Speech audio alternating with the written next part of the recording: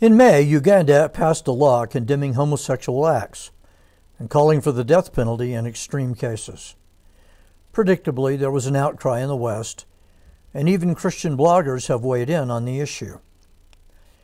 Samuel Sey is from Ghana in West Africa. He now lives in the United States and is an outspoken Christian. While not completely agreeing with the law, Sey nonetheless defended the more than 30 African countries who criminalize homosexual behavior in varying degrees. According to Sey, quote, when Uganda passed the Anti Homosexuality Act last week, some evangelicals in the West reacted with revulsion, dismissing such a law as non Christian.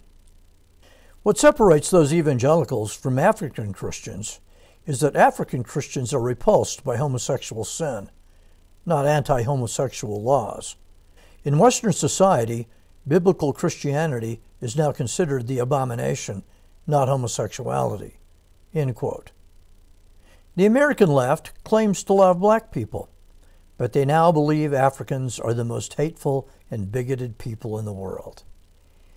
Another interesting observation from Sey quote, the left's reactions to Uganda's law expose their fraudulent beliefs about multiculturalism. They don't really believe in multiculturalism. They don't really believe all cultures are equally valid. They don't believe all cultures can coexist. End quote. And finally, Sey concludes, quote, Uganda's law on homosexuality is imperfect, but it's surely better than America's embrace of abomination. Yet some evangelicals in the West seem more willing to back the sexual revolution than to oppose it. What the left practices is what one Nigerian scholar calls ideological neocolonialism. For decades, Western nations have pressured African nations to adopt leftist views on abortion and homosexuality in exchange for money. Russell Moore is the editor of Christianity Today magazine and a well known evangelical leader. He used strong language in condemning Uganda's law. Quote, Not everything that's a sin is a crime. To equate all sin with crime without the authority to do so is itself a sin against God. To take the name of the Lord our God in vain. If the historic Christian vision of marriage and family is true and good and beautiful, as I believe it is, then we demonstrate that truth, goodness, and beauty to our unbelieving neighbors through our witness, not by threatening to kill them. End quote. Moore believes that laws against homosexual behavior aren't Christian and are counterproductive. Let me share some of my own observations on this issue. First, Western societies have made the decision to affirm homosexual behavior. It's impossible to watch the offerings of Hollywood these days without encountering a very appealing gay character. Male homosexuals comprise about 1.5% of American men. Evangelical Christians are about 30% of our population.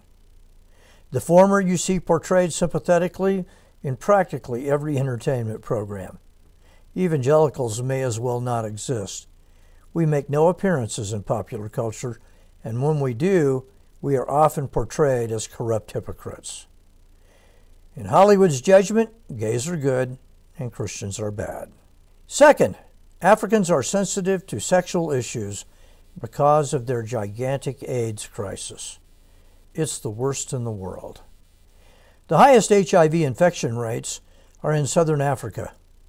Sexual immorality is killing millions of Africans. One can see why Uganda and other nations might want to mitigate destructive behavior. Third, remember, it is only very recently that America decriminalized homosexual behavior. Only in 2003 did our Supreme Court declare such laws unconstitutional. We should go slow in condemning Africans for laws that were on our own books until a few years ago. Fourth, this would be a good time to read again Dennis Prager's brilliant essay, Why Judaism Rejected Homosexuality.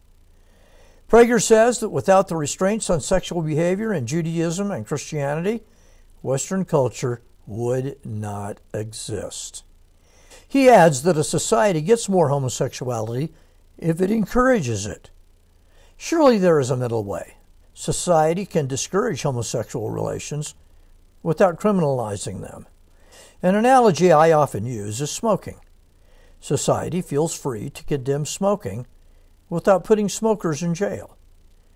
But no one has any problem separating sinner and sin, that is, separating the smoker and his value as a human being. The gay lifestyle is far more destructive than smoking. Yet we are forbidden from discouraging it. Quite the opposite. We are persecuted if we do not affirm it. God clearly condemns homosexual behavior in His Word. Disobeying the Word of God is always risky and ultimately destructive. We need to pay attention to what He says for our own good, the good of the kingdom, and the good of the human race. Thank you for listening. Have a wonderful new year.